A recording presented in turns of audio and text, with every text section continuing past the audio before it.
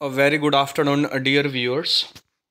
So, Bharat Electronics Limited, uh, they have issued the second list, uh, a second list for the shortlisted candidate who have been shortlisted for the apprenticeship training uh, on graduation level. So, shortlisted candidate second list for document verification for graduate apprenticeship training. Yes, this uh, they had they have issued this uh, they have issued this on 17th of Jan and uh, like uh, there are around 215 students in their second list.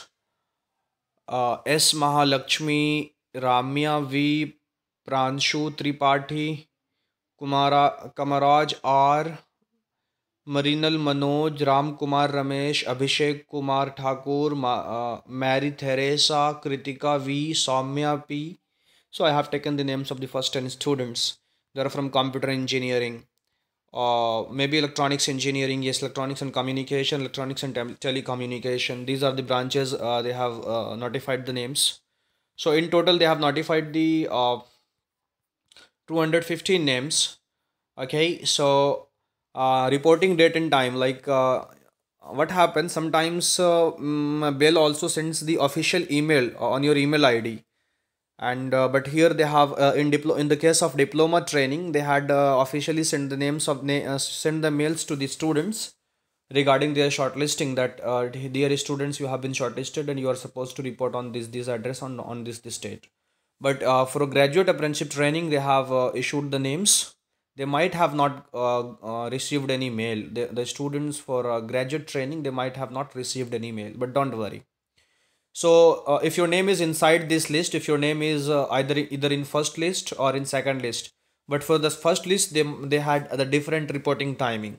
And for the second list they have this timing uh, this reporting timing uh, 3rd of february uh, early morning 10 a.m so address is mentioned here Hongirana center for learning and development bharat electronics limited Jalahalli bangalore. Okay fine now, candidates are advised to report at given date and time with the following original documents along with one set of photocopy. Yes, you, you should. Uh, mm, uh, normally, they do not uh, like uh, submit any Xerox, but they ask. So, for your safe side, you must keep the Xerox. You must keep the photocopies of all six documents. Now, what are the documents? Let's understand. Tenth mark sheet. Yes, you have you have done your tenth, so you should have your tenth mark sheet.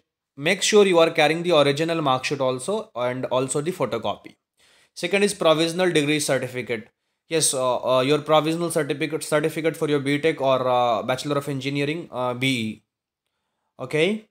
Uh, maybe students who have uh, who completed their uh, BTech in 2021 and they do not have so you can ask your HOD, you can ask your uh, what to say, you can ask your mm, principal director. They will issue you the pro- provisional certificate. Fine because you have you have a lot of time and in within like next week you can finish all the all these these things. You can complete all these these documents. Aadhaar card yes you must carry your Aadhaar card. Uh, whatever the Aadhaar card uh, Aadhaar card you have you carry the Aadhaar card. Uh, original Aadhaar card okay? And also the Xerox. Vaccination certificate yes either you have taken first dose you have taken second dose you have taken third dose. No problem. If you have taken all two dose three dose you must uh, download the vaccination certificate. But if you have not taken ev- even a single dose come on do it fast. You go to the nearest uh, hospital nearest vaccination center and uh, take the vaccine. Okay? Once you take the vaccine in maybe maybe in uh, next 5 to 10 minutes they uh, give you the vaccination certificate like it is uploaded on your uh, CoWIN website portal. Fine. So you have to put the log you have to put your contact number and then password. They will send the otp and you can download your vaccination certificate. Okay? So take the print out of the vaccination certificate aadhaar card original and xerox provisional certificate original and xerox. Uh, 10th mark sheet original and xerox. Now coming to the fifth fifth uh, record document that is rt-pcr negative report. Yeah swab collected within 72 hours. Make sure that uh, the sample you have given it is collected within 72 hours. There are two things. Uh, one aspect is that the report should be within 72 hours and second is that swab collected within 72 hours okay? So it means that uh, your time will be counted uh, mm, counted from the time of your swab collection okay? Once you give your swab from that time if you will get the RT-PCR RT-PCR report no they mention the swab collection timing report receiving timing okay? So your time will be counted from swab collection okay? If you have given the swab uh, 3 days before and after 3 days you are taking the report so that will not be accepted because it already it will already uh, like expire. It will already be completing 72 hours okay so make sure from swab collection it should be within 72 hours okay? So uh, there are many vaccination centers. I will talk about these these things in the next uh, uh, uh in the uh, at the last of this video. So rt-pcr negative report you have to do the testing fine. Uh, it should be negative and it should be within 72 hours. Coming to the sixth point that is caste and pwd certificate. Yes if you are not from general if you are from general caste i don't uh, you you are not supposed to submit any document i was from general. I did my document verification on diploma training on diploma basis training. So i did the document verification. Now pwd yes if you are disabled if you have some forms of disability you must uh, uh, have uh, any sorts of uh, any kind of certificate because uh, it is uh, it is issued by the block or the any of the government offices. So just you carry that pwd if you are disabled if you have some forms of disability and if you are sc st obc or any reserve cat, category. So you must carry the caste certificate also. Coming fine. Coming to the net, uh, note pointed. Again candidates with the insufficient documents are mis or, or mismatch of name or date of birth etc and the documents will not be entered yes. Your name is mr akash gupta okay? And uh, in your uh, in your 10th mark sheet your name is mr akash gupta. In your aadhaar card your name is mr akash. Come on. You have the you have the issue okay? You have the incorrect name. So make sure that names spellings date of birth. Your date of birth is 2019 99 2001 1998 so 21st january 1998 in your aadhaar card. In your 10th class you have the date of birth 21 february. So these are the mismatches okay? Make sure you don't have these these mismatches. Fine. So you just uh, uh, arrange the documents and make sure you don't have these these issues. And then you report uh, uh, report to the mentioned office. Document verification will process will uh, process will be completed on the same day? Yes of course.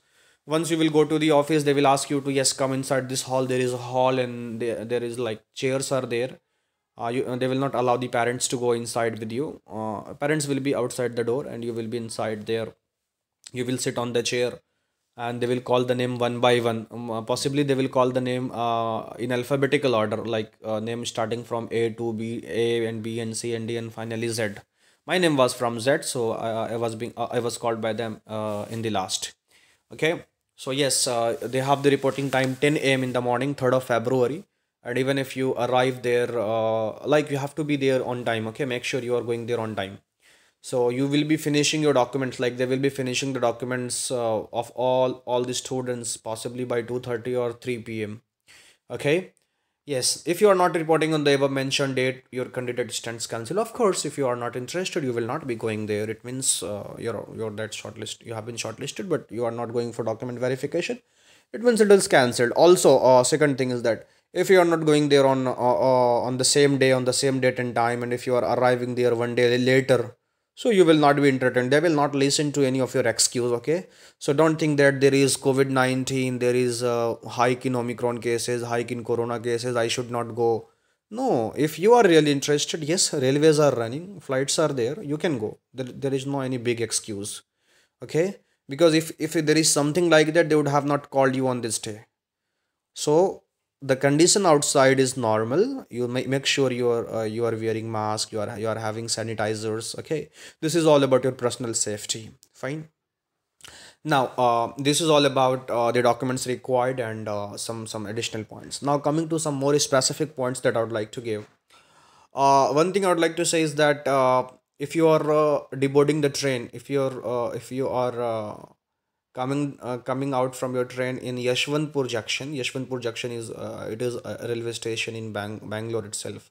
So you make sure you come out uh, from the gate number one. If you come out from gate number one, you will see many many restaurants. Uh, not restaurant. Yes, the restaurants are also there. Many lodges. Okay, many many PGs are there. So you will have the options. Uh, you can stay there. Okay, so you come out from. One good thing is that all PGs, all all all uh, lodges are available or open 24 is to 7 so you can stay any of them. Uh, normally they charge you for 24 hours uh, if you are going to book a one room uh, having separate bathroom and uh, like they will have one bed for one person or two person is also like adjustable i can say but for a double bed uh, you will have a charging around 1200 or 1000 for single room it would be 800 sometimes 600 so it ranges in within this cost. Fine. And the office location office location uh, like BEL office is around 3 to 4 kilometer within the range of 3 to 4 kilometer in uh, from Yashwantpur junction. The auto rickshaw puller might, might charge you 100 rupees maximum otherwise 70 80 they will take 70 80 rupees. And they will like leave you on that destination on that spot bail office. Uh, they, they they call it bell circle you know. In their uh, there they call it bell circle. So you go the bell circle and just beside like one minute or 200 meter or 100 meter from bell circle. Okay? They, they know the office auto rickshaw they know the office. Fine. Now uh, rt-pcr report. This is very important to talk i have already discussed they, they are they are counting the time from swab collection okay? So if you arrive uh, bangalore one day before and if you go to yashwantpur so one day before it means uh you can uh, you can go to i can say uh, you can go to lal path lab. Lal path lab they take the sample. Uh, if you if you go to lal path lab early morning 9 in the morning and then they will give you report by 4:30 in the evening okay and uh, so lal path lab are also is also available uh, in yashwantpur. You will google the google it. You will find the address. And uh, they charge you 500 rupees for the test. Uh, rt-pcr report is mandatory there okay? And take the print copy a print of the of the of your report. Uh, they will keep the report okay? They they will actually submit your report. So make sure you take the print out of your report. Now uh this is uh, all all the concerns that i have talked about. Yes uh, those who are keen who are excited uh, they must join this training because you will be getting a wonderful vibes a very great experience because uh, it is such a prestigious organization and you will have uh, you will have a chance to meet with the good people highly professional people and uh, that's great okay? So in my opinion you must go there you uh, go for your documents verification. Once you go for document verification your document verification is finished. They give you the offer letter in your hand and they ask you to come for the joining on this this date on this this date okay? So thank you so much. And if you have any questions you must ask me in the comment section. Have a blessed day. Thank you